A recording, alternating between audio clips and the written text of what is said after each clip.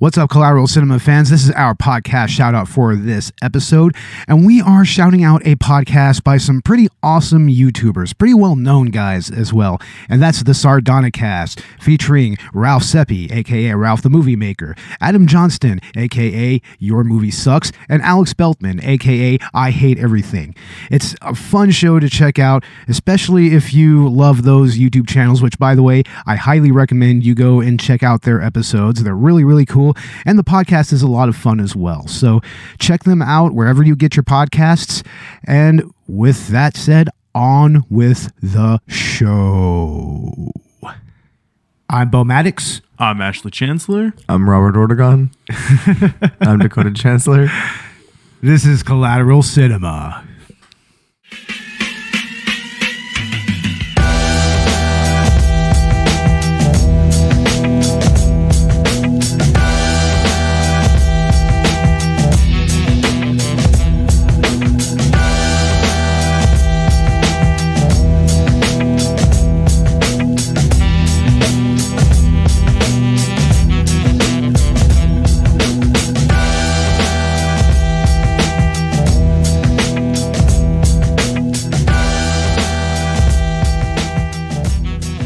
Welcome to Collateral Cinema, the only movie podcast that matters, where we focus on good movies, bad movies, and everything else in between in the world of cinema.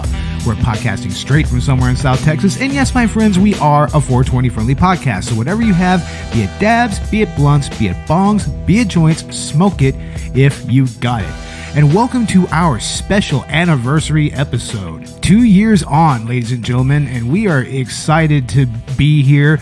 We're excited to be close to 5,000 downloads. Hell yeah.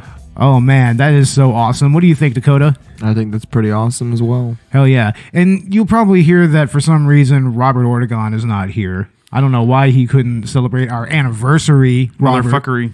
Yeah, our Meek-versary, I should say. Our, our Mika-versary. Yeah, exactly. That's going to be a collateral cinema tradition from now on. exactly. We're going to do Takashi Miike movies every anniversary. And there's plenty of movies because the dude directed over a 100 movies, so. Oh yeah, literally hundreds of movies. Like his output is mind-boggling.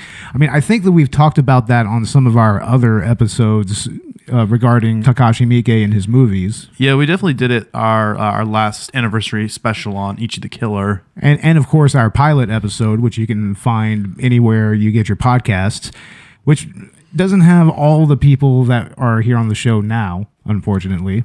Yeah, that was uh, quite a different setup starting from our pilot episode, right? Oh yeah, de- definitely. And we did Ichi the Killer last season, and the pilot episode was Audition, and this movie is quite possibly one of his most wild movies out there. Probably his weirdest movie, I would say. Oh yeah, you know, incest, we got it. Lactation, look no further. Necrophilia, Necrophilia, uh, plenty. all the necrophilia. Scat, Jesus. you know it. We got it all. That is, ladies and gentlemen, Takashi Miike's Visitor Q. Yeah, I've had this movie for quite a while now. I've had it for close to 10 years. This came out in 2002. I maybe found it maybe roughly 2007, 2008. And from what I understand, the copy that I have is a collector's item. Because, I mean, th- this movie, it wasn't really released that widely outside of Japan and everything. It's not real well known. I will put it that way. And Takashi Miike is known somewhat, you know, throughout the world for some of his more um, more well known works. Um, this one's a little more obscure, and honestly, I'm I'm surprised because this is definitely the wildest film from him I've seen so far.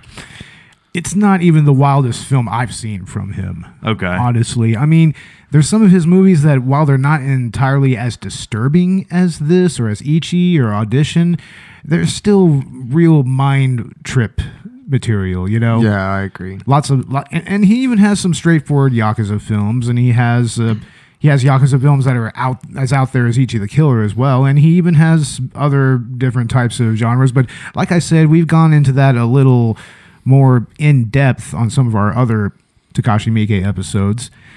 But this movie started as part of a Japanese filmmaking initiative, which was meant to showcase digital video, which was at the time kind of in its infancy, at, at least good digital video.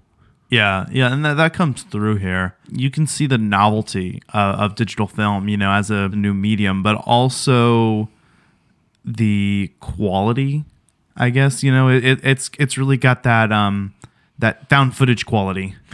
Yeah, it, we'll get a little more into the found footage elements of this uh, picture here in a little bit, but I mean, I, I don't really recall what the other movies were that were released as part of this initiative, but I remember seeing some of the clips on YouTube and everything, and I mean, a lot of it looked pretty interesting, but I mean, not nearly as penetrating and thoughtful as this movie. Yeah, this movie's got all of the elements of a shock film, you know, except it's Miike never does shock for the sake of shock. There's always some kind of social commentary behind it, and even if it's kind of hard to wrap your brain around, that that's definitely still the case here. This this movie is no exception to that. Oh, I mean, definitely. And the digital video of that time, I mean, it's it, of course it's nowhere near what we have now. We have like ultra 4K recording just on our iPhones, right? Like 1080p. Yeah, that's true. I mean, we we can do 4K video on the iPhone now. Yeah, and it's been that way for several versions now, from what I understand. Yeah, yeah. No, it's crazy. We were um we were filming with you know Robert for um his his uh, short film, and I, I was honestly surprised by the clarity and the quality that we can achieve with that medium now. Yeah, but I mean, it still has a little bit of that charm that you know this movie has a little bit. What what we filmed, Yeah. ki- kind of uh, aesthetic wise. Right, like if you look like the aspect ratio, you know, the the size of the camera. Yeah.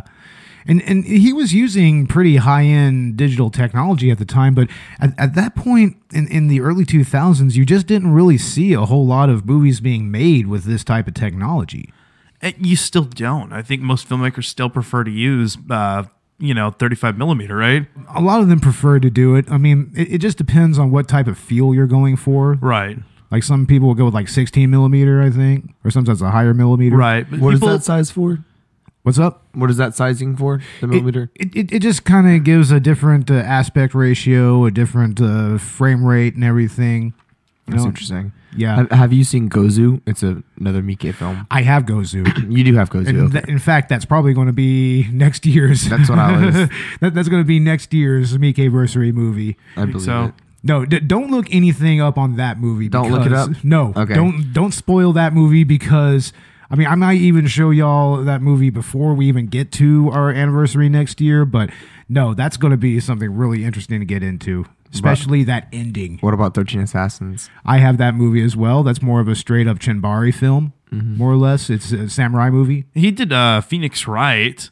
Oh yeah, video uh, video game adaptation, and recently JoJo's Bizarre Adventure.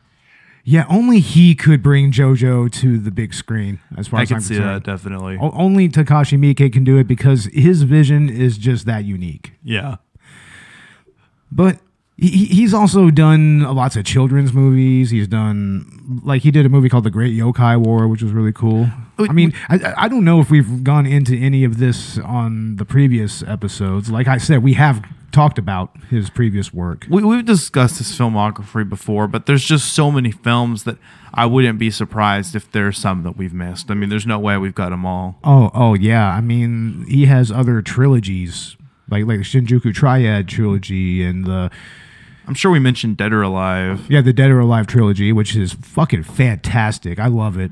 Yeah, I, from what It- I've heard, I mean, the, the three movies are not related in any way other than having the same starring actors. Well, it's supposed to be like a reincarnation kind of thing, from what I understand. That's Okay. kind of how it, it works with Dead or Alive. But of course, I mean, this movie is more of like a slice of life family drama gone absolutely batshit. Yeah. And it's really based off of a movie that a director named Pier Paolo Pasolini did. He, he did Salo or the 120 Days of Sodom, which I might bring to the podcast next season, and you're going to have to see it, and it's not going to be pretty. you hear that, Dakota? I don't like the sound of that. Oh no, you you will.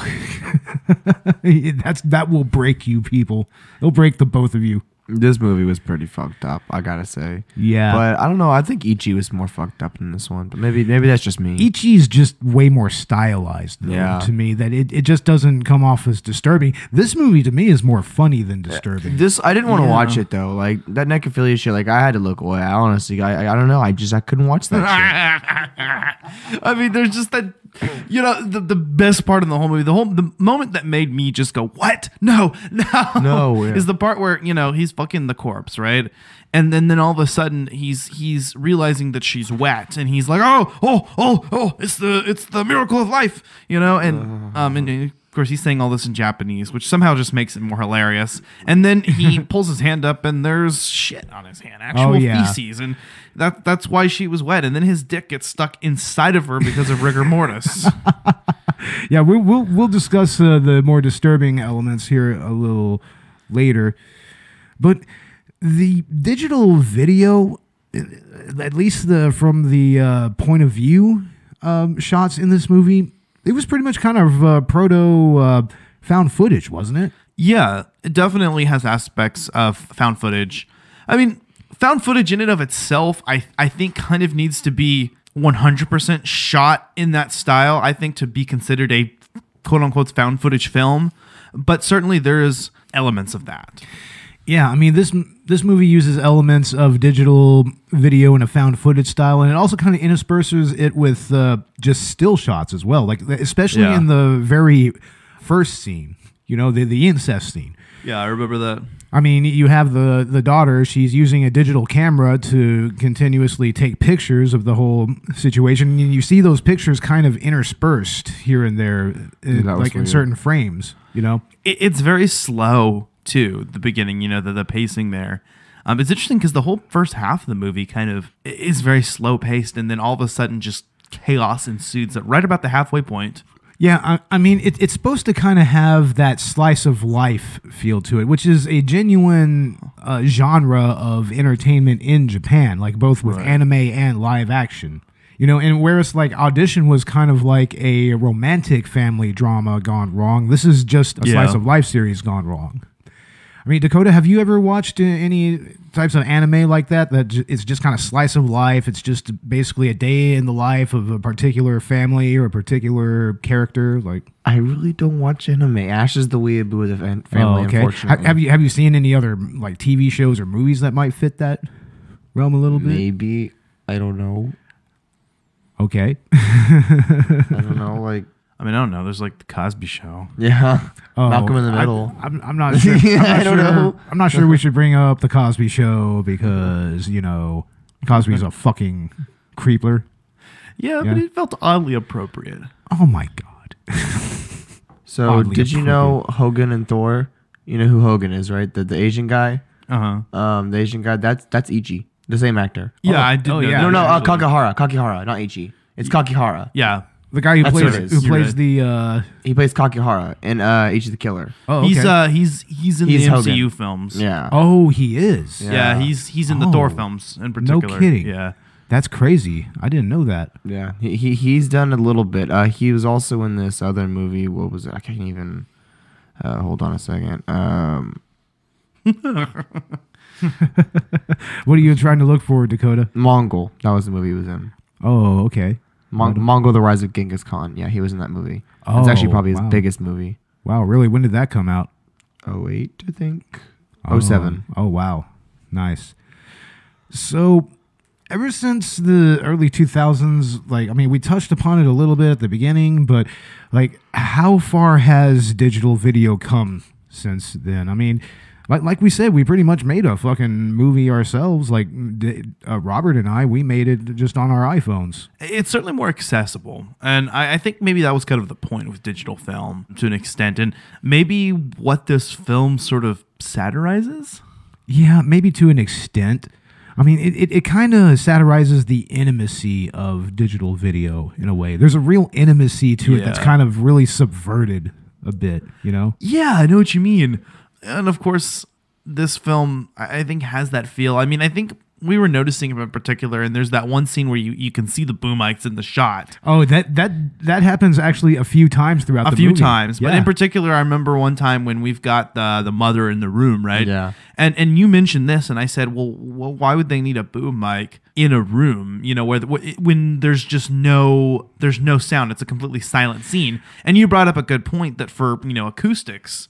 Um, you want that that stuffy room ambience. you want that room ambience. I mean, in, in reality, no room is truly quiet. 釣り玉釣りださあさあさあさあよいしょよいしょなかなか分かりませんでしたでも今やっと分かりましたそれは怒りでもありませんでした悲しみでもありませんでしたあそこが感じてしまったんですあそこが感じてしまったんです。あそこが本当ちょっと殺すぞこの野郎いじめにあってるんですけどよいしょこれがほらいじめにあった俺もらえるほらほらほら見て影のズームアップそこからズーム引くゆっくりとそして彼女のいやいやいけるいけるいけるそんないける俺多分出てると思いんだから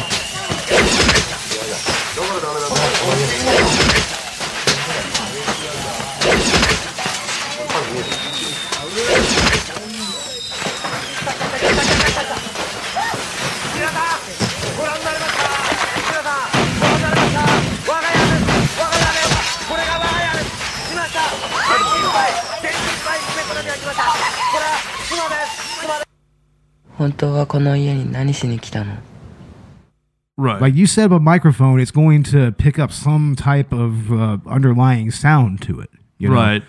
And and a lot of sound engineers, especially on television and film, I mean, they'll get some ambient noise just so they can kind of have that on a track to control themselves. You know. Yeah. I mean, that, that's a pretty common thing. I mean, it, it, it's kind of why you have that boom mic up there. You know, it's to kind of get the ambient pickup, and then you have like the more direct pickups with like lavalier mics and, you know, maybe some other mics on the cameras and whatnot. Well, and it's something that we had to, you know, engineer ourselves with that in mind Yeah, yeah. when we made the studio. You know what I mean?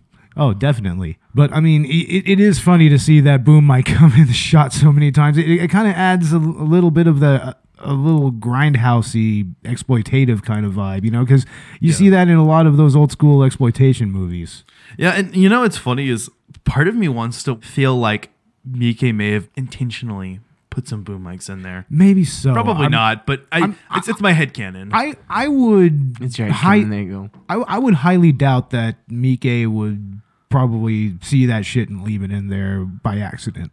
You know, That's a good point. Yeah, maybe maybe it, maybe it's on purpose. May- maybe he or just maybe thought- he decided to leave it in. maybe he just thought it was funny because Yeah. in the end it is funny. It's It is hilarious to see, to see Well, it. this whole movie is a black comedy, right? I mean, Yeah. Right. that's what gets you. Is we've got all these disturbing elements, right? But it's all done in a lighthearted tone, so it doesn't come off as disturbing, you know. But at the same time, more so. and, and and that's something that Takashi Miike really excels at. It- it's it's the reason why I don't find something like Ichi the Killer all that disturbing because there's like a whimsy to it that's just like a charm to it even. yeah. That I mean, it, it's just hard to really take what's going on on the screen as really, you know, bleh, you know. It it, it kind of pulls you in. It hooks you. That that's his hook in many of those movies.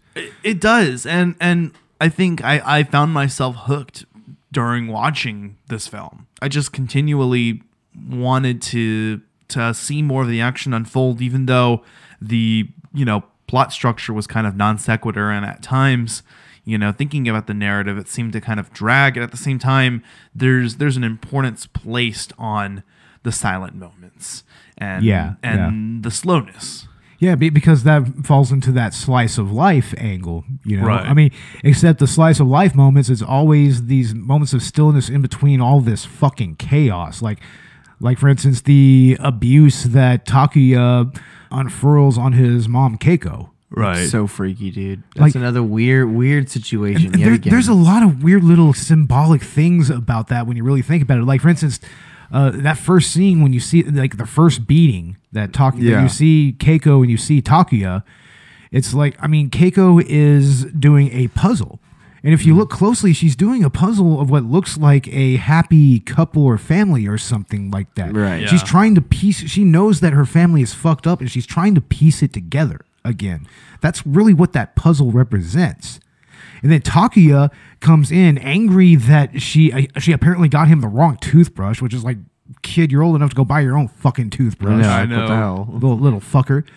And what does he beat her with? He beats her with a rug beater, which in, in Japanese culture is very much seen as a wifely tool. Right. It, it's a wifely and a maternal tool. And he has a bunch of them. He has a, all Yeah, stuffed in a closet. Yeah, he, he has a closet full of them. Neatly stacked away. Yeah, neatly stacked away. It, it's it's almost like he is purposefully taking what makes his mother maternal and everything and just using it against her. Yeah, that's a good point. But you know, it's interesting too because Takuya's got a story of his own, like every bully that is themselves suffering from something. And in this case, um, yeah, it's almost a reverse situation because he's the one being bullied, Yeah. and that's why he takes it out on his mom. Which again, obviously, doesn't justify the behavior at all, but yeah, yeah, obviously. but it it does give you more insight into the character and why he's doing what he's doing, and, and that's immediately you know succeeding that. Yeah, It's, yeah. it's it's it's it's in one. It's in that single scene. Um, suddenly, these kids start throwing fireworks in the house, you know, which torments the mother more. Keiko. I I don't think that it really torments the mother. It, it gives her a moment of respite. Honestly, it, mo- it gives her a moment to get the fuck out of there. Yeah, That's true bit. too. Yeah, I mean, it, it, acts as a cover. Because so those that she can- kids, you know, uh, her son is actually afraid of those kids. Oh, You know what I deeply mean? afraid. And and it, and it's interesting that they attack him when like it's usually right after he's beat his mom and when Yep. he's wearing that mask. It is when he's wearing the mask. Yeah. See, that to me is another interesting element of Takuya's character is the mask that he puts on. Yeah, I'm not sure what was going on. And, and then, but you juxtapose that. There, there's a scene where Keiko is putting on a facial mask. She, she's putting on a, a mask in order to try to be more womanly, to be more maternal and everything. But even in spite of that, he still comes in and beats her. You know, you even see her with, with that with the mask still on, and she's getting beat by her son. And then shortly after that, you know, a little more chaos en- ensues with the bullies, I believe. I think so, anyways. I might be mixing up scenes, but it's easy to do that. Oh, very easy to do that. And then you know you've got Keiko, of course, shooting up heroin. yeah, the heroin use is a factor in this movie, like even going up to the end of the movie. Well, we're going to go ahead and get into that here in a little bit, but it, it even ties into the first scene because that's why her daughter is whoring herself out because she's got a habit that she's got to keep up. Yeah, it, it, it's it's a repeating cycle. Yeah, and, and that's a constant theme of this movie is cycles, you know, cycles of violence, cycles of abuse, cycles of uh, addiction. It's like that plays out over and over throughout this movie. And ultimately, that's you know the disjunctive factor here with this family. Not all the crazy shit that happens. Yeah. You know what I mean? It's the problems that everybody would have when the family starts doing you know the crazier shit. That's actually when they come together, right? Yeah, and, and that's really the uh, the mitigating factor, really, with the visitor being there. I mean, and, and, and that's why you kind of question whether he's really real or not, in a way. Yeah. because I mean he- he's he's almost like this force of nature that kind of is just unfurled on this family in order to to force them to kind of you know get their shit together, you know. And, In a and- sense, but also yeah, oh, oh, they, they yeah by losing their shit they get their shit together, pretty much. That's what I'm saying is they have what seems to be, you know, actual like real problems in society, which brings them apart. And then all this bad shit, insane sequence of events that brings them together. It's weird. exactly. I- I- It's a dysfunctional, functional family. well, it starts off very dysfunctional, you know, but I mean, the visitor is the catalyst for all these changes that occur. But yeah, changes, but like not good changes. this motherfucker's a necrophiliac now. I mean, his wife is a drug addict. His son beats his mom. And then what kind of fucking Yeah, but at- is this? His but- daughter's a whore. But at the end, they all come together, right? I mean, Yeah, they're- but I mean that that was the- together, they're, they're together by sucking on her tits. That's not together. Yeah, Well, you know. No. You never you never had some titty milk, Dakota? Oh, I mean, it, it's the symbolism that's important there, and and mother's milk plays a huge role in this movie. Needless to say, What what is it with Japanese people and lactation? No, no, no, no. it's- Not it's- needless to say, needlessly. Okay. Well, what there was there was a whole the, the the floor was covered in milk. It was like an inch of milk on the floor by the time she was done squeezing her nipples. Well, yeah, that, The son was laying in the pool of milk. well. th- don't you get the symbolism there? It, it's all because it's her. I don't care about the symbolism. What the fuck? She's like It's her- liberating herself. She, she, she's she's re she's reestablishing her role as the matriarch of the family. okay, that's just It- disgusting. That and there's an additional layer here when you consider that a lot of these things are fetishes, taboos, yeah, they're very much taboos. right? Get a new fetish. But I mean, the, the mother's milk. It, it's it's all meant to, to show that Keiko is really trying to be the anchor of the family. I mean, her, her husband is unemployed. I'm sorry, Like, but guys, I mean, am I the only sensible one here? You guys are crazy. if You think this is normal?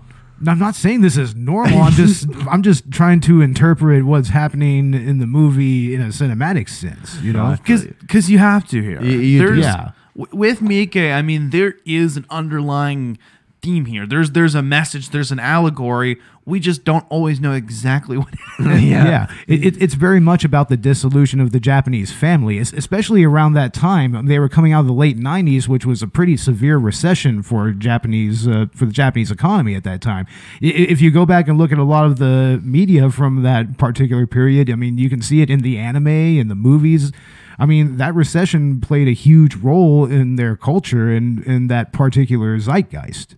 It, it, it's why, like, it's part of the reason why the husband is, uh, the dad is unemployed. It's really because he got goddamn sexually assaulted on camera and then they decided to fucking run it. he decided to run it. He decided to run it. He was the That's one the who decided- impression I got. it, it might actually make sense because it, it's pretty apparent that the father is really kind of into humiliation. And- Right. And that's 'Cause another. He doesn't care because obviously because he kills the motherfucker and then videotapes it. yeah. I mean, shit. Yeah. I mean, he, he's really lost any semblance of his humanity in, Oh, in yeah. so many ways. But he's also a very traumatized person. You know, I mean, he, he was pretty much digitally penetrated. You know, I mean, th- he was sexually assaulted himself. And physically penetrated. Yeah, physically penetrated. Yeah. Physically, definitely. Yeah, with, with with a microphone, which like for, for an audio engineer like me, it's just like, oh god damn. Mm. No, that, that does not sound like fun. Oh come on, Bill. I know what you do in your spare time. Oh god damn.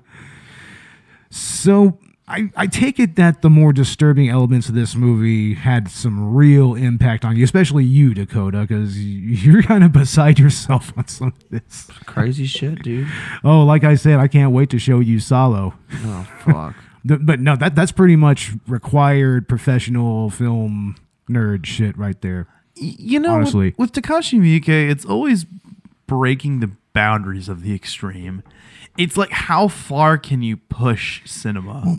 That's the thing. It's not always like that with his movies. I mean, his movies have so many different flavors to them that you can't really. I mean, you can watch like ten of his movies in a row and not see the same thing twice. Well, no, I'm not saying I'm not arguing with that. Definitely, Yeah, his movies yeah, have so many range in so many different genres. But I'm saying there is a an overarching theme with a lot of his movies. yeah. I mean this this is a recurring aspect. Well, I mean that that's just part of being an auteur. You know, you have Yeah. certain uh, certain things that you fall back on, like certain type of themes, certain type of uh, shots and techniques, And- and think certain about- ways of directing your actors. You know, Yeah, and think about what his most famous films are or are infamous. You know, what is he most notorious for? Well, he's notorious for the wild, over the top, stylistic yakuza thrillers or the weird ass horror movies that he makes. Yeah. Like, well, I mean, he straddles the line of horror in many respects. And this movie, oddly enough, is categorized as a horror film by a lot of people, which it's not. It's it's black comedy, but the movie is so disturbing that it belongs in that category of Asian horror. I think. Well, I remember seeing a video just the other night on the subject, and the thing you have to uh, realize about the whole Asian uh, extreme thing is that that's very much a marketing ploy. It's not so much a genre; it's more of a broad marketing term for pretty much any type of Asian cinema that might be skew a little towards the scary, horror, extreme exploitation type of side of things. you know? Yeah. I mean, and that usually covers movies from Japan, from South Korea, from Thailand, from you, you know, from Vietnam and whatnot. You know, it's mostly just Asian cinema, and even over there, they have a term for them based on their rating system called Category Three. And I mean, if, if anybody knows anything about extreme horror in any sense, you'll know what Cat Three films are. And now, a word from our friend Chaz Rab at the Trial by Error Variety Show podcast.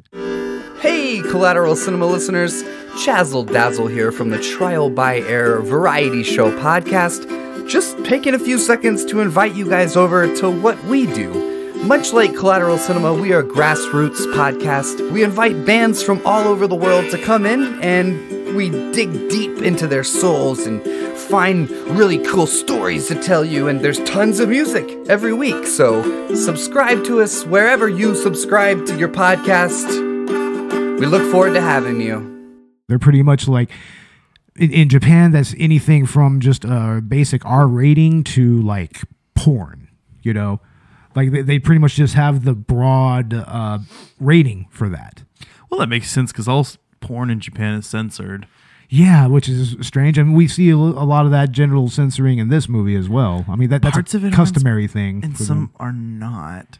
some of them, yeah, some of it.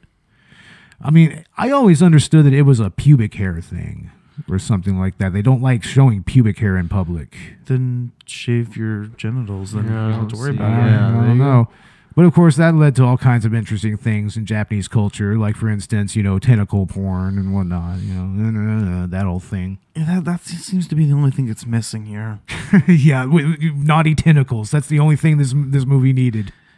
No, it did not need it. It This needed. movie was oh, already come over on! the top. You know it would have been better with naughty tentacles. No, Visitor Q2. Visitor R. Visitor R. Visitor R. We were both thinking about wait, what's after Q? I know. we're like, wait, not P. Visitor R. Oh my god.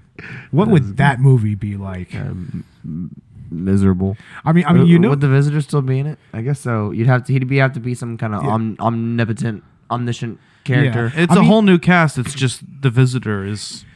I mean, I mean, Takashi Miike has made sequels to his movies, even prequels before. Like, th- there is a live-action Ichi prequel. It wasn't done by Miike, but you know, it is out there. There's also an anime for Ichi. There is an anime for Ichi. Yeah. There's a lot of cosplay for Ichi. I could probably cosplay for Ichi. Dude, you That should seems totally, pretty- you should easy. totally cosplay as Ichi. That's so easy. Yeah, uh, this Halloween you should totally cosplay as That's Ichi. such an easy cosplay. But man, what, what's what was your what was the one scene in this movie that stood out to you guys? Like like Dakota, what was the one thing that really stood out to you?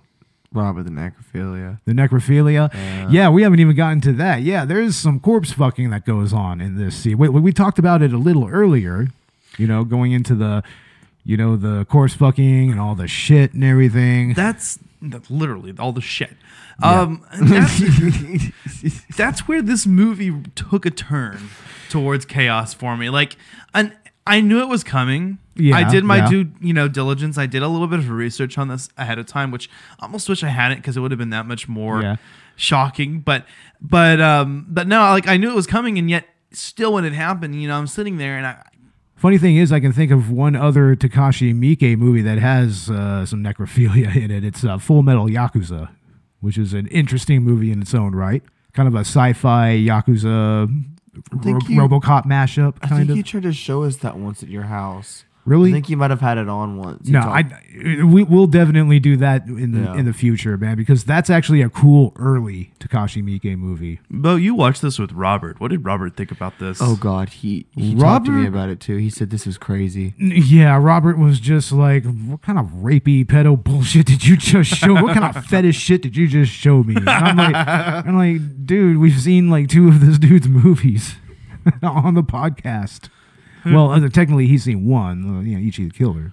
I actually I didn't watch audition and I wasn't on there, but when I was doing the video version of that podcast and throwing it on YouTube, I was able to watch what I believe is is the most disturbing, you know, part of the movie, the, Yeah. the most memorable part. Though that one scene, Yeah, the that- corpse fucking scene, you know, the equivalent of that. You know, Yeah, pretty much like the piece, the piece de la resistance. Like if I there you go. I was looking for the Yeah. right word. I didn't want to say crux because it didn't have anything to do with the name, but Yeah, yeah.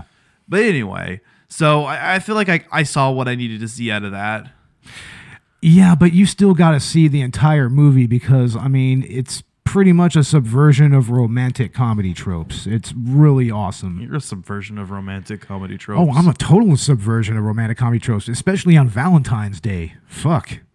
Well, we're right in time, right? Yeah, yeah. We- We're actually two hours in. We're actually two hours into Valentine's Day. Isn't this almost like an appropriate movie to do for Valentine's Day? Kind of.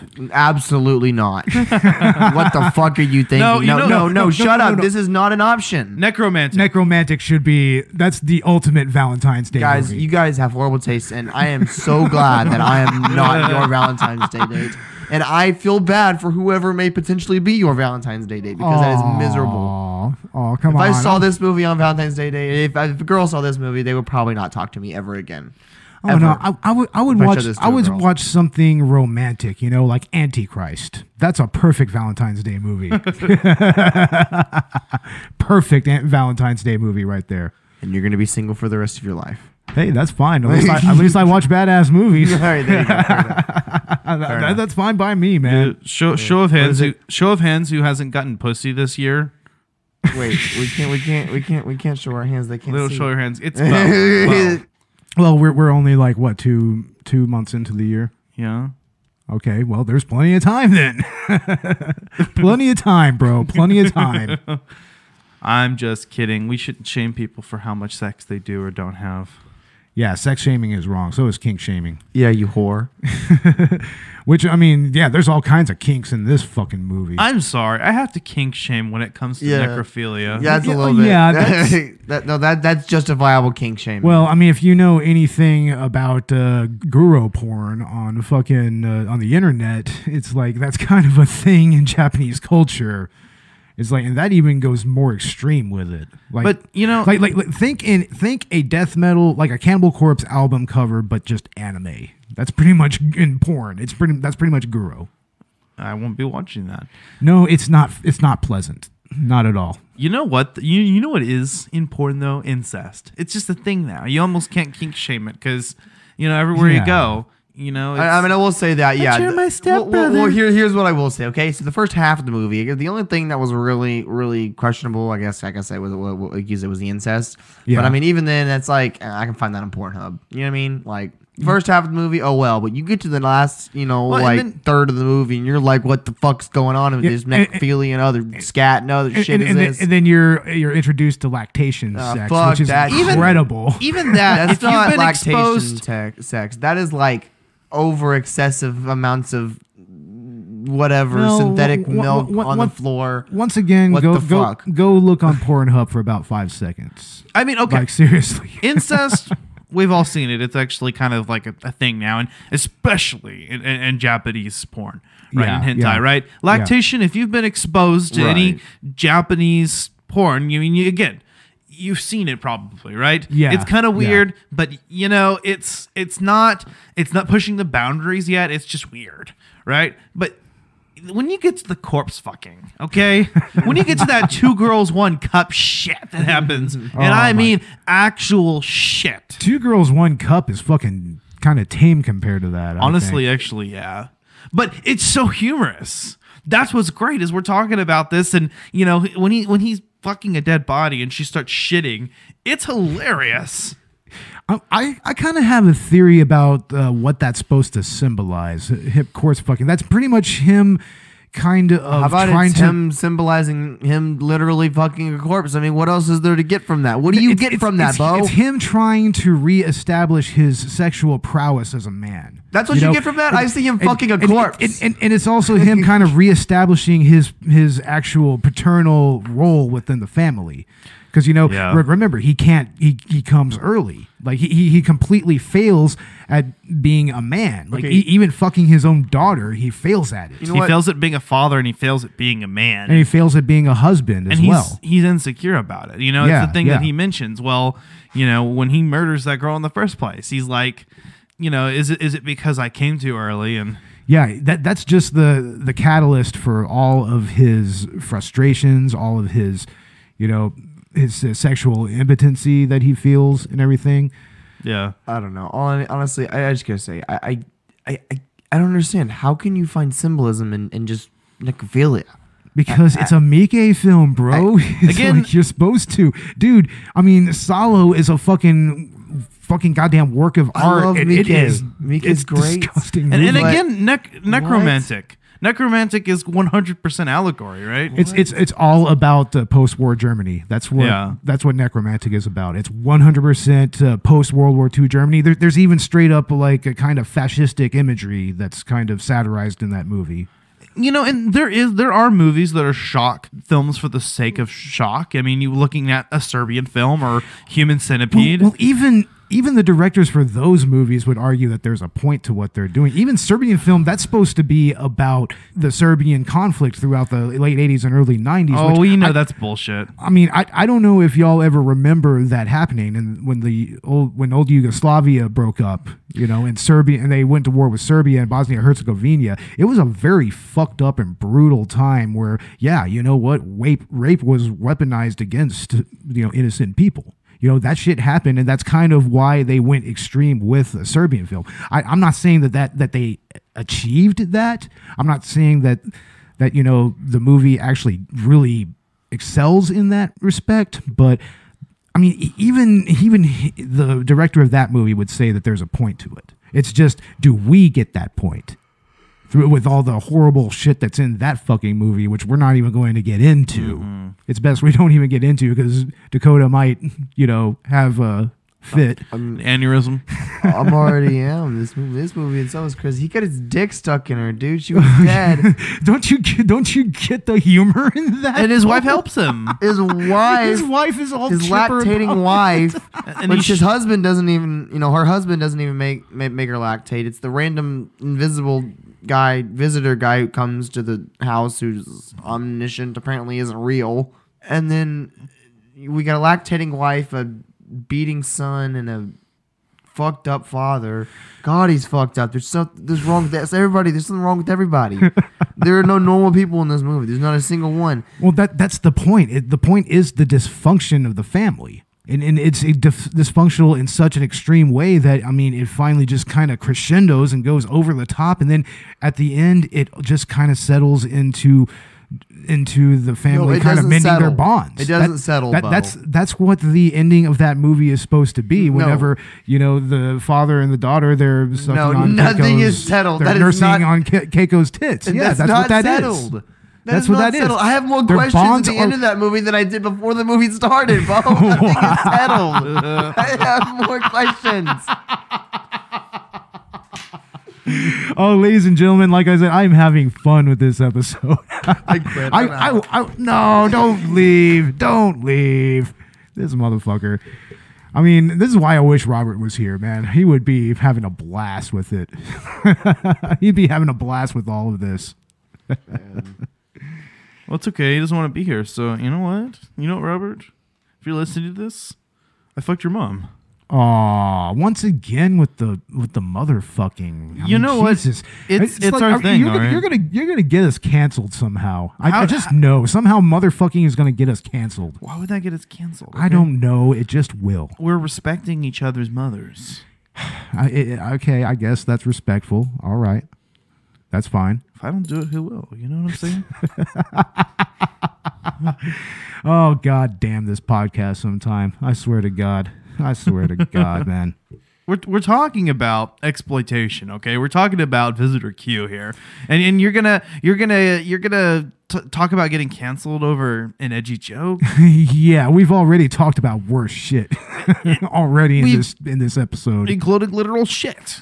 Literal shit, exactly. I don't know. I mean, I- I've heard that there's there's stuff out here that's that's worse than this. I mean, look at like what like vomit porn movies. Oh, there, there's a uh, there's a, uh trilogy of movies uh, made by this one dude named Lucifer Valentine called the Vomit Gore trilogy, and it's it's exactly as you think it is. It, it, it's it's its uh, first movie is known as Slaughtered Vomit Dolls. Y- y- vomit. That's what I was thinking of. Okay, not vomit porn, vomit gore. That's what they call it. It's pretty much vomit porn, just really kind of gory and stylized. All right, moving on. So, um, Mike, uh, do you know any other movies he's made? As the Gods Will, that one wasn't that bad. That one was a good one. See, I As wasn't the- freaked out. That one was just was, was trippy, Well- but that was fun. I, I wasn't freaking out after that one. Well, that, that that was one of his manga uh, adaptations. was it really? Yeah, that that was adapted from a manga. Really? Wow, Same I thing with that was uh, great. Same thing with Ichi the Killer. I think that he has a sh- parody of Super Sentai shows called Zebraman. You know, kind of like you know Power Rangers, VR Troopers, that sort of thing. おかわり。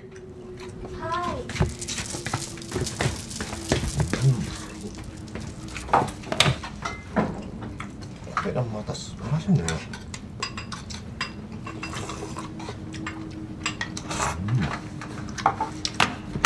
はいどうぞ。なんだよこれ。誰かの誕生日か。うん別に。ふざけん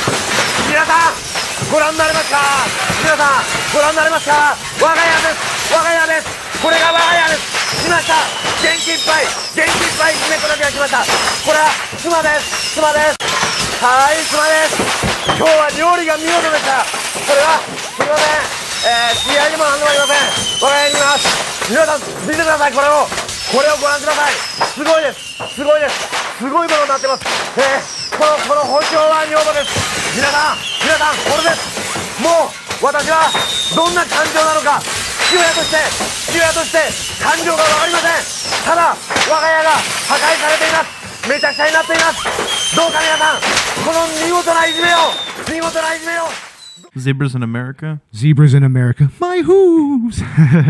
yes, listen to our Freddy Got Fingered episode, by the way. It's fantastic. I mean, there's all kinds of interesting themes throughout this movie. I mean, we touched on some of them, like, for instance, the whole matriarchal versus patriarchal thing and how Keiko and her husband kind of reestablished their roles in that family through really fucked up ways. But Oh, you know the, the symbolism is there. This movie was actually particularly empowering, you know, from a feminist perspective. Yeah, I mean, it, this, it's a woman who is a victim of serious abuse, and in a way, she maintains her. Uh, what's the word? She maintains her own autonomy. Choose your words carefully her- here, Beau. She she she reestablishes her autonomy over her body, over her sexuality. I don't know if she overcomes her heroin addiction, but I mean, by by this, a certain point in the movie, that's that just becomes not even that big of an issue. No, and and, and then the father just continually gets humiliated.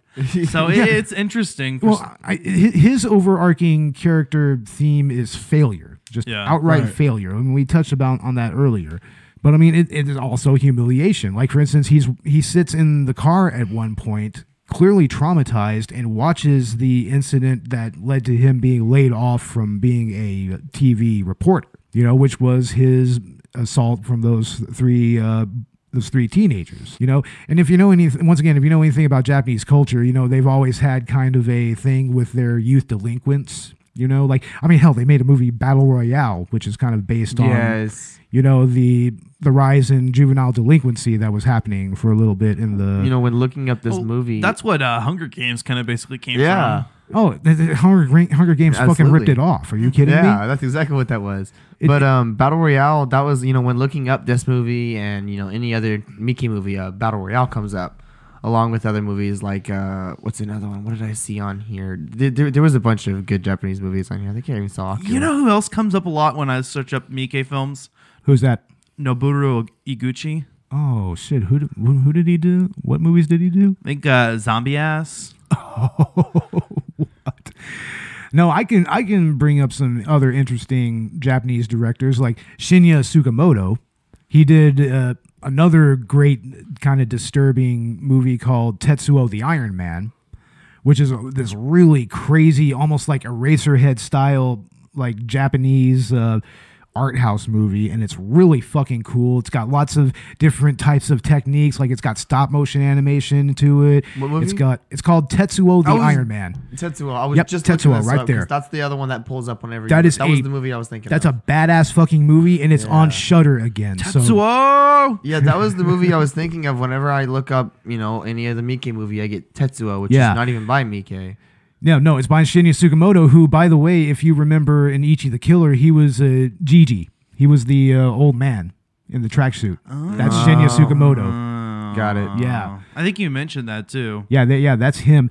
And another interesting director from Japan is a man by the name of Sion Sono, and he's done some interesting movies. He did uh, Suicide Club, I was just oh that one too. yeah, Suicide Squad. Suicide Club, and he did another movie that kind of gets into some really twisted family dynamics called Strange Circus, which is a really, really Strange almost Circus, yeah. almost Mike esque kind of movie. What but about- even Oh. deeper than Mike? You know, I was gonna say, I'm glad you brought up Eraserhead because Takashi Miike is actually sometimes compared to David Lynch. Yeah, I mean his movie Gozu is pretty much a an homage to David Lynch movies because I mean it it, ha- it almost feels like Japanese Twin Peaks in a way. If you know what we mean, Twin Twin Peaks. Oh, you've never seen Twin Peaks? There's two other Mike you know what? movies. I I've seen plenty of Twin Peaks in my life. oh my god, that's terrible. There were two other Mike movies that popped up when I when I looked up, you know, movies like this, and that was uh, Izo. Ezo. Ezo. That is a really crazy movie that kind of transcends time and space and reality. And it, it has a lot of Buddhist symbolism and Shinto symbolism to it. It's got like some uh, uh, allusions to like uh, Japan's uh, military and Japan's uh, government and everything at the time. It, it's a really complex movie. I should have said three movies actually. And then there's uh, what is it? Fudo. I got that For movie as well. the new generation? Fudo, Fudo is really cool. It's Is it? another kind of yakuza movie, but it's based on a bunch of high schoolers. Yeah, that's a really cool movie. And then his comedy, uh, Dead or Alive. Yeah, Action I- comedy. I have the first one. Like the the entire Dead or Alive trilogy is on Shudder. I highly recommend course. everybody Yeah. watch that. I mean, especially the first movie. It is just it becomes delirious. It's just so fucking awesome. Should we just do all three of them together when we get to that? You might as well. Yeah, yeah. When we do the Dead or, Dead or Alive, we'll do the whole trilogy. Oh, Rainy Dog. Rainy Dog. I have that movie as well. I saw that on here too. Yeah. I have Rainy Dog. I have Ley Lines. He did a couple of movies called Young Thugs, which was kind of more of an autobiographical movie, kind of uh, about his childhood and then about the you know growing up a little bit. What's Cold Fish?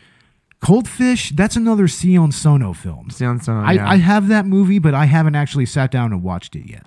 It's fun. You know the name. You know all these movies I'm bringing up. Oh, I do. I I know all about you know Japanese cinema and all these Cat Three movies and shit. You the know? happiness of the Katakuris. See, that is actually interesting because that movie is kind of seen as almost a companion piece to Visitor Q because it has some some, uh, some similar themes to it. I've seen Right. that. Yeah, yeah. You know how, like for instance, it's another family where the main patriarch is kind of down on his luck, and you know the uh, Japanese economy is kind of affecting the family in a way where they they're forced to kind of make money, and lots of chaos ensues, but in its own right. But yeah, I mean, those are all really cool fucking movies, dude. Really, really cool movies. Now, what did y'all think about the visitor himself? Like, what what are your thoughts on that character? Honestly, he, there wasn't much to go off of. He didn't really do much. I'd like to think that in a way, the visitor is meant to be the movie watcher. Yeah, He- he- I he's, guess. he's like he except he's not like really reacting to them in any negative sense. He's just kind of observing everything. Except in a way. when he needs to knock him upside the head every once in a while. Yeah, yeah. He literally, he literally knocks knocks sense into Yeah, exactly. the father. I guess and, so. We it is the viewers, it is the watchers because they're there to just knock him upside the head every once yeah, in a while. You know, it's like I mean, yeah, we're watching the depravity go down, and he's just kind of on the. He- He's kind of on the fringe of it all. He's even isolated from it. You can even see it in some of the shots in the movie. Well- like there, there, there's shots. There are shots where the visitor is visible through like a hole in the wall, and he's kind of separated from the family. He's separated from the father and from Keiko, the mother. the visitor is kind of this omnipresent force. He's this ubiquitous element Yeah. in the film. This this titular character who's always there and always involved, and yet we don't learn really anything about him. Yeah, and and he doesn't really like encourage any of this shit from happening. You know? He doesn't dis- encourage or discourage, and yet it's kind of like he's given the credit for it. Yeah, I mean, you're right. I mean, he does very little. and yet he's just kind of the catalyst here. Yeah, It's interesting. Maybe there's some kind of allegory here with people's, you know, uh, a- attribution to God in in events, but maybe you know God is just there. well, like even the the child, the the son, he said, "Were you here to fuck up my family?" Basically, yeah. What, did, were you here Were to you here destroy, to my, destroy family? And he was like, Yeah. "Thanks." and, and he kind of just inflects that himself, and then the visitor neither uh, affirms nor denies that. right. So it's just kind of interesting. You're- You're left as a viewer wondering, you know, is that the case? Did the visitor come destroy them? Did did he bring them together? Do we can we even understand what's going on here? what was with that fatherly figure type thing he was doing with the With boy Ta- with too? Takuya? Yeah. Yeah, like asking about the sisters about the sisters' room and What everything. the hell? That was weird shit. Well, I mean, in a way, maybe that's what Takuya needed. He needed a father figure to kind of console him a little bit. Because God knows, you know, the father in this movie is completely incompetent. He's incompetent. He's completely out of touch with his family. I mean, for fuck's sake, he sits there and eats calmly while his son beats the shit out of his mom. It it's kind of these um, caricatures of our worst fears or of our stereotypes. You know what I mean? You've got the father that's afraid of being incompetent and not being able to provide for his family. You've got the mother that's afraid of just being passive and, you know, not being able to piece together the family. You've got the son that's prone to anger and the the daughter that's um Completely absent from everything other than a few scenes. Yeah. Not only that, but you know, daughters in society are kind of shunned from being sexual Yeah, yeah. and and you know, be, using their bodies and and having control of their lives. And in a way, her being a prostitute juxtaposes. Yeah. In in a way she has that kind of control over herself. she does. You know, I mean, it, it's it's. I don't even see it as a negative attribute. I mean, yeah, she ends up fucking her dad for money, but I mean, I in the mean- end, that that that's that says more about her function as a sex worker more than it says about her as a daughter. I think right. that speaks more to that And experience a little more. She treats him like a customer. yeah, yeah. Honestly, Fifty thousand, you know, yen for to, to fuck me, and then when he comes too early, she says it's now it's a hundred thousand. oh yeah, she's a businesswoman. she's an entrepreneur. Honestly, Straight straight up, she's got business sense. she's her own boss. Now, what did y'all think about the actual technical aspects of the movie as far as the acting and the directing and the actual cinematography? Well, we is saw some boom mics, so Yeah, clearly boom wasn't that great. Well, I mean, this was made for a very small amount of money. In, in American I'm money, sure. it was made for less than seventy thousand dollars. oh wow, that's Yeah. a very low budget film. And oh, yet, Oh, Tommy low Wiseau spent eight million on the room. What I the know, fuck? right? Give Takashi Miike seventy thousand dollars, and he makes something like Visitor Q. it's like, oh my god! Only only Takashi Miike could do that, though. He only he's the only one that can have that talent and that know how to really put together a production in that short a period of time with that little bit of money, and still still make it cinematically relevant.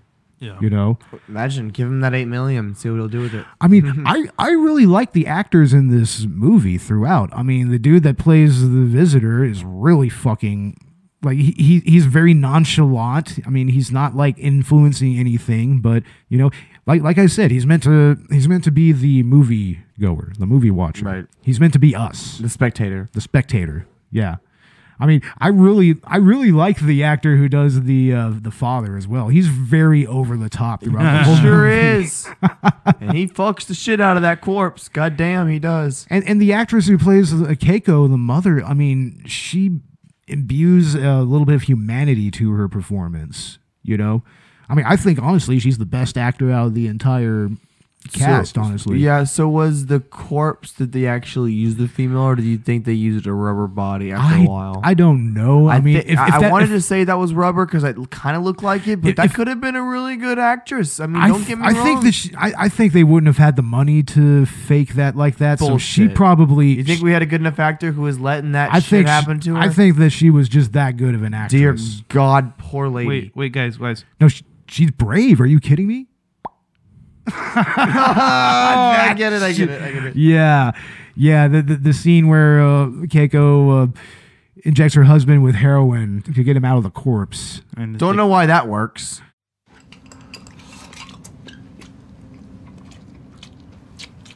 おかわりおかわり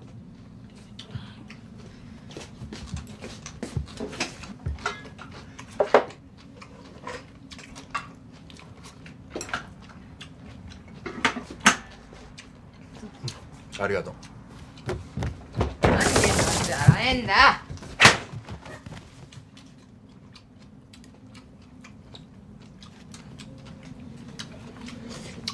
私の知り合いだ。しばらくこの家に住むことになりますから。続けなよ。俺のこと無視してていいから。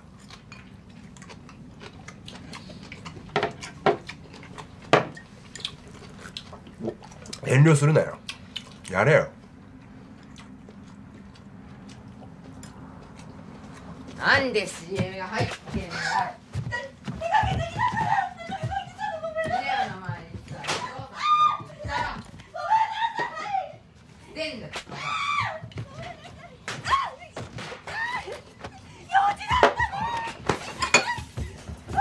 じゃあ私先に寝ますから。あおやすみなさい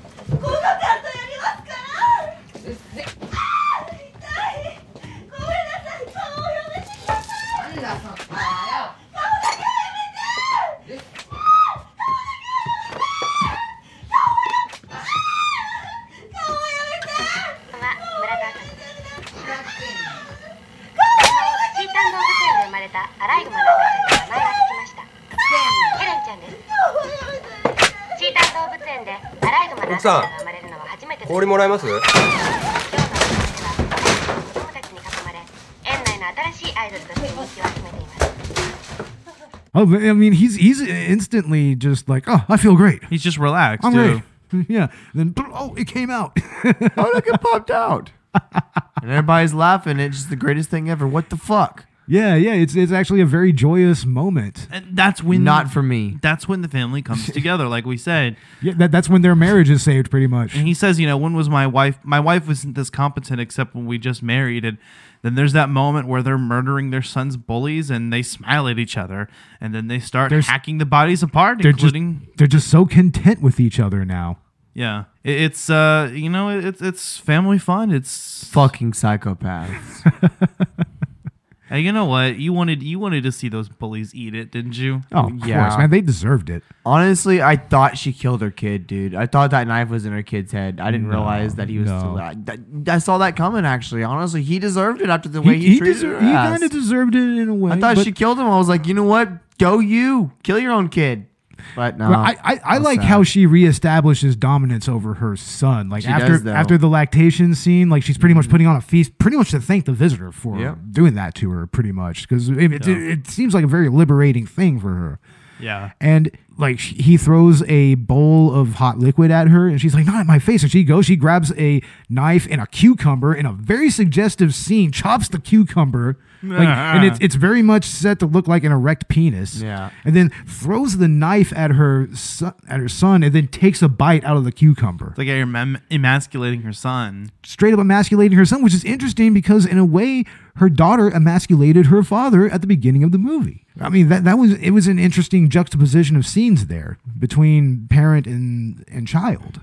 In And- both and- scenarios. And both scenarios still had a sexual element to it. yeah.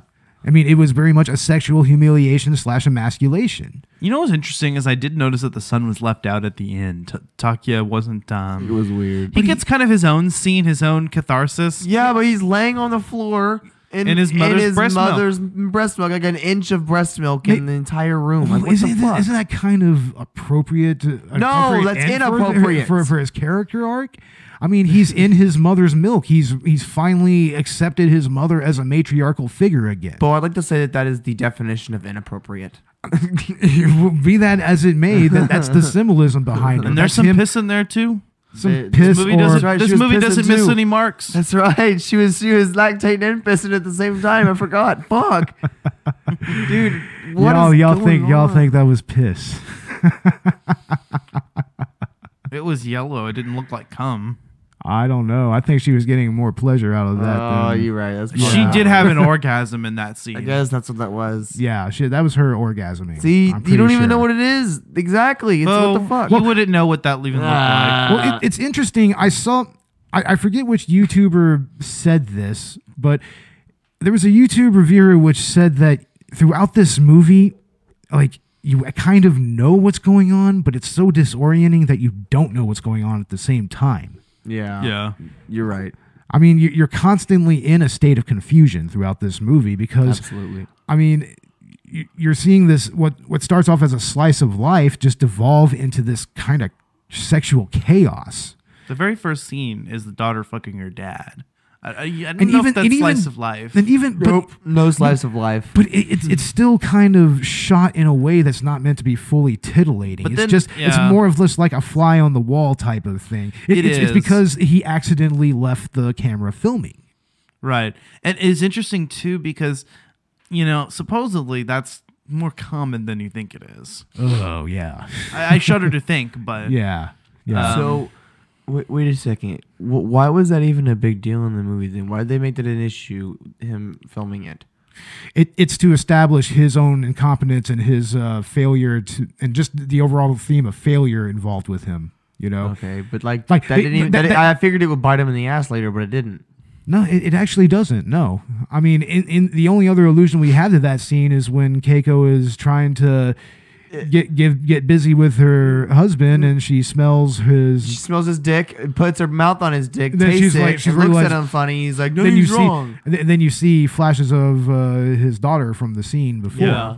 yeah. And then, what? But even then, like that's all you get of that. She doesn't question it. They go to sleep, and you don't hear about it ever again. And the and end. she doesn't question She that doesn't her question husband that her- has his dick stuck in a corpse. Doesn't question that. No, she, no. In fact, the next scene, which you would think would be, oh my god, like what the fuck? No, the next scene, literally, like, 'cause he goes from fucking a corpse to he's in the bathtub and his wife's helping him out and get put warm vinegar in the tub. I'm, kind of wondering how much of that was kind of heroin induced, maybe. Well, it was. She, she had just injected herself. Yeah. She goes to the store, go is super happy to go get some fucking vinegar. Comes back, pours it on her husband's dick. Well, yeah. it's- I mean, she. I mean, once again, that's part of her reestablishing her matriarchal maternal role in the family. Right. That's what that is. That it, like, especially going out and shopping for something to help her family out. You know, that's a very motherly thing to do. she even makes a second trip to the store later, right? Yeah, yeah, to get the deodorant to, to Deodorant. Yeah, to uh, take care of the stench of all the corpses that they have at their house now. that they had to pile up in a tarp in the back seat to Yeah. potentially chop up for the near future. yeah, they, they were going to do it one by one. one by one and Yeah. chopped them up in pieces and they already had them the you know lines on the chick already so they were ready Yeah. I mean, the the low budget here. I mean, it it's really kind of interesting how they pulled off something like the lactation scene. Is like that looks very real. I mean, It's all practical effects. it's practical effects, but I mean, it's almost like she's really lactating that much. I mean, I doubt um, I doubt that a human could actually probably lactate like that. But I mean, it's very exaggerated. But that it would be interesting to see how they actually filmed that, especially especially near the end where she's in the kitchen with the with the trash bag over her and everything. You know, it's like how did they actually do that? It's like, I mean, did they have some type of apparatus on her chest for it? Like, I don't know. It's probably what the what porn actors use in bukkake scenes. Oh, like, yeah, I would imagine. That's pretty much that that is. It's like a mother's milk bukkake kind of. Moving on. See, no, that's another interesting No, angle. Is that it's almost it's almost like a reverse bukkake in a way. Not And interesting. again, female empowerment. Yeah, there you go. oh, Dakota is so squicked out right now. Cut this I'm- episode. No, I'm Stop not it cutting now. it. I'm not cutting it. Damn you want it, Beau. you want to be a professional movie podcaster, you have to watch shit like this. You have to. We got to do Cannibal Holocaust. Oh yeah, Alright, I, I have alright. that movie. Closing thoughts, Beau. Yeah, I guess, I guess yeah. Now would be the time to go ahead and go into our closing thoughts. We'll go ahead and start with Ash. Wh- What are your final thoughts on this movie? First thoughts coming into this movie was what the fuck. Um, further thoughts into this movie was What the Mike fuck? is actually kind of a genius. Final thoughts. What the fuck? yeah, there you go. Pure what the fuck. But this movie definitely has uh, some actual points to it, right? It it does. Like I said, there's nothing that Miike does that's purely for shock value. There's there's a social commentary here, and sometimes I'm not quite sure what that is, but I know it exists. Well, there, there's also that allusion to a, a, Pa- the Pasolini movie, and Yeah. it, it, it's called a Teorema. And in that movie, a mysterious visitor shows up at this uh, aristocratic family's house, has sex with every member of the family, father, daughter, son, and uh, and mother, And the maid. and then and the maid, and they all fucking uh, just completely go ex- insane, except for the maid who seems to kind of become like a Christ figure or something. Yeah, I, I was looking something. into that. Yeah. So it, it definitely, I think, was inspired by that, but it's kind of its own thing too. Obviously, this film is not for everyone. Uh, but if you consider yourself a cinephile, if you consider yourself someone who wants to see the, the boundaries of filmmaking be pushed and, and is interested in not even necessarily just exploitative films, but The darker side of cinema. yeah, and I, and I, and I want to say the the beauty of that kind of a a style. Definitely, and also Takashi Miike fans. Obviously, this is probably the one Miike film that if um, you're not sure, this may be the one to stay away from. But at the same time, I don't think it was that bad. It just honestly was just it was just ridiculous. It was just honestly hilarious. It's a very funny movie, and, and to me, it gets funnier every time I see it. yeah, no, definitely. And, and I've already seen this movie quite a few times. Like I, I watched it initially when I bought the DVD years ago, and I was just like, "Whoa, what the fuck." Imagine being a kid and watching this. Oh my god, I can only imagine. Dakota, what are your final thoughts, man? Uh, I don't know. I can't think after this movie. I can't think after the. No, just at least give give us a gen, just a basic opinion. I really, honestly didn't really like this movie. You didn't like it, really? no, I couldn't really relate with it, bro. I was okay. Don't get me wrong. It was funny. I was laughing. I will say it did get me laughing. Yeah. What the fuck, man? What is going on? I mean, there's some things that are just unnecessary. That lactation, what the fuck? That was like Well, I explained to you what the so lactation ex- was about. I know what it was about, and I can get the symbolism all day long, but is it really necessary? There are other ways to symbolize that. I, I don't think necrophilia has any any reason to be in a movie. Oh, then I need I, need- I need to show you Aftermath Genesis then. Oh my god. Yeah. This is even yeah. I need to show that to you. oh man, I'm going to have so much fun with my movie collection with you guys. So much fun. Nah, it honestly wasn't wasn't that bad. It was fun, fun, interesting to watch, but at the same time, it was a little overboard, and I had no clue what I was getting into. yeah, honestly, I can totally see that. And my final thoughts, I love this movie, honestly, because I mean it, it it has so much symbolism going on underneath all of the craziness. I mean, Mike, it, it shows Mike's true talent as a filmmaker. Just the fact that he took a seventy thousand dollar uh, production with digital cameras and still made it look good, made it sound good.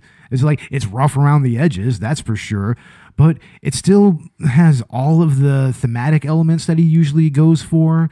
You know, like of course, like bodily fluids is one of those. You know, and, and it has its own kind of undercurrent of uh, themes of failure, of incompetence, of trauma, of bullying, of abuse, and cycles of abuse.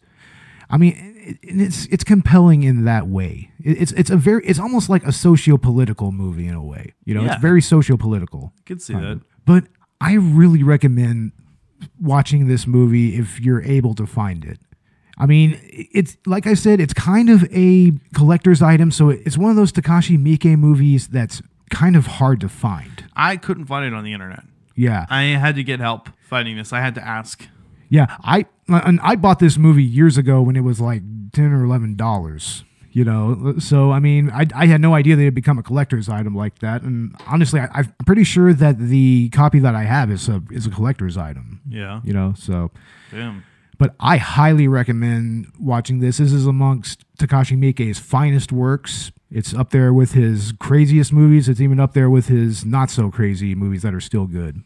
So yeah, if you can track this movie down, watch it. It's worth checking out. If you're a Miike fan, if you're a fan of extreme Japanese cinema or just Asian cinema in If you're general, an otaku. if you're an otaku, I mean, you'll love this movie, and it it will satiate your need for seeing some weird ass shit. You miss me with that weeaboo shit. Oh yeah, definitely. No, I'm just kidding. No, no, this uh, this resonated on a lot of levels as an anime fan. Yeah, I can see this kind of being an anime in some ways, like in, like some kind of weird, obscure anime, kind of like Midori Shoujo Tsubaki. I don't know if you ever heard of that one. Yeah. that's a very obscure underground anime that's really kind of twisted in its own right. It, and it that has a live action movie of its own. I don't think it's made by Mike, but if if you're into that sort of thing, yeah, check this movie out. Yeah. Well, it's time to go ahead and start wrapping things up. We'll go ahead What's, and uh, what's next from Collateral Cinema, Beau? What's next from Collateral Cinema? I believe we are doing Spawn next. Spawn. Yeah, the the 1995, I believe, comic book adaptation. It, it was amongst the, the original comic book movies that came out. All right. You know, I'm excited about that. yeah, and it's a fun movie in so many ways. I actually legitimately love it. it, it- it's actually one of my favorite kind of, you know, background movies to put on. Like if there's just nothing else that I want to watch, I can always just put on Spawn and be kind of entertained by it.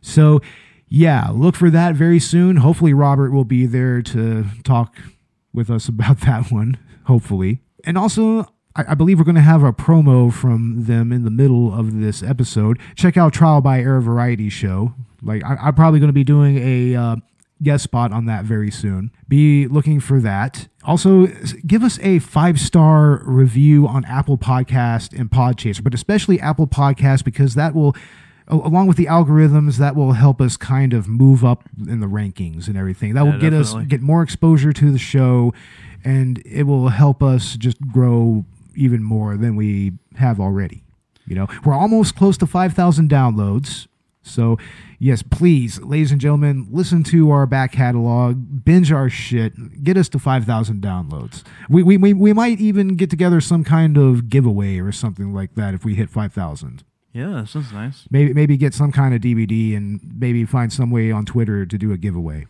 We could do that, maybe. Yeah. Yeah.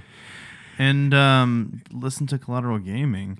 Our next episode, which we're recording next week, uh, is going to be Star Wars Jedi Fallen Order.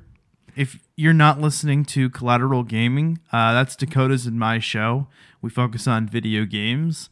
Um, you've got the same uh, boyish charms and. Uh, Yeah, the show needs a little more love, honestly, man. We need more people listening to them. Like, give them a five star review as well. seriously, do it. Yeah, give them five star reviews all the way through. it.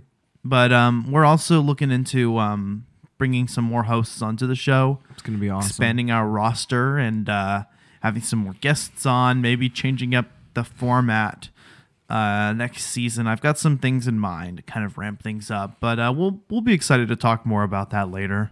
Yeah, and there's probably going to be some interesting things in the works for season four of Collateral Cinema. I'm thinking even some topical episodes, maybe. Yeah. like maybe some top ten list or something like that.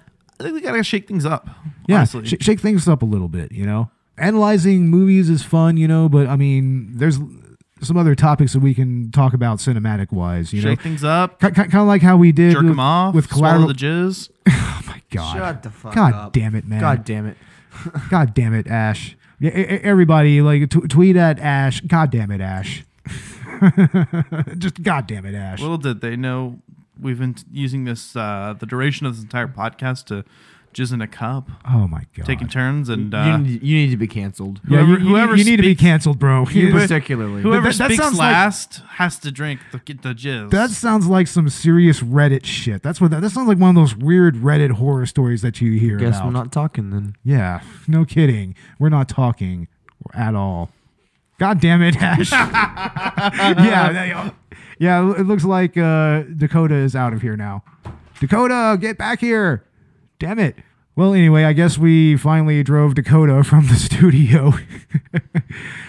But yeah, you can find Collateral Cinema on Apple Podcasts, on Spotify, iTunes, Chill Lover Radio, and wherever else you get your podcasts. And look at us on YouTube as well. We need more views and subscribers on YouTube.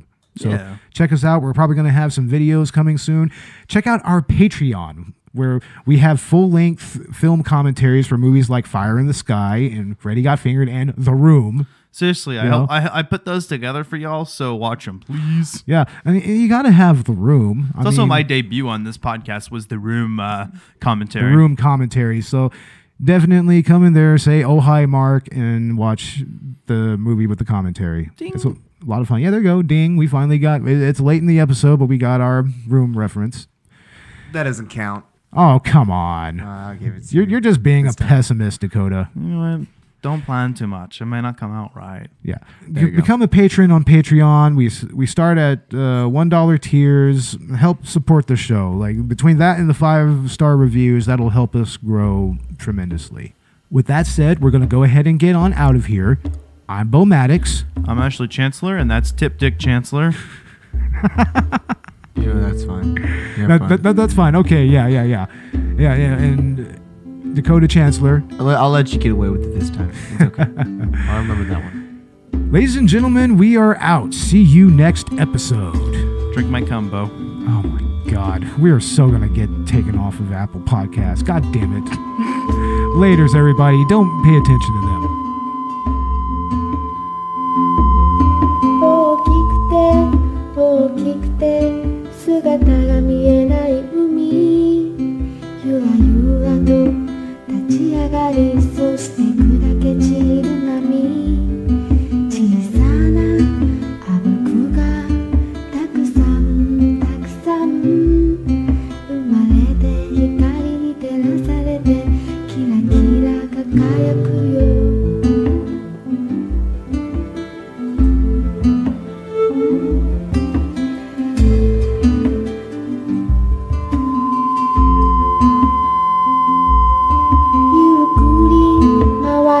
回りながら浮いたり沈んだりキスして一つになったりまた離れたり少しずつ大きくなってそして弾けた時また海の水に抜けてゆく。